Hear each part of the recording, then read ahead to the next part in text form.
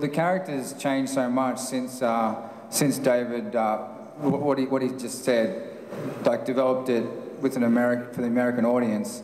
Um, the character in the Australian show was uh, had a lot less dimension to him. He was um, he was kind of belligerent and angry, and, and he didn't sort of care much for the for the the other guy, Adam. Um, but but, Wil- but Wilfred in America is like developed so much, and I have so much fun playing him. Like he has all these like characters within characters, and and a lot of that, you know, really came from uh, Elijah, you know, and and it really informed how uh, how what I get to do, you know, like.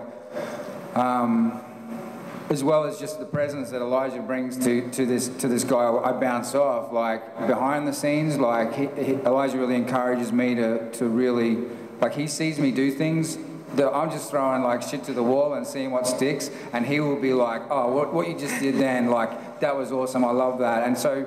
I, I really feel free now in this show to really push the, the boundaries of what I'm doing with my physical comedy in particular because I, I, get to bounce off, off Elijah in that way. So, I mean, the show, the American version, uh, the FX version, has just developed in such a way that it, it's almost like the Australian one was like high school, and now we're, uh, we're at, I don't know, college. junior, junior